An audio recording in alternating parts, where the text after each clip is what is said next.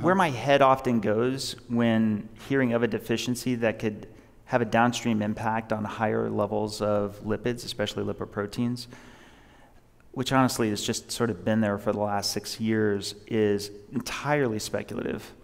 Uh, but more that I want to rule it in or rule it out, which is that there is an immune component that associates with higher secretion of triglyceride rich lipoproteins.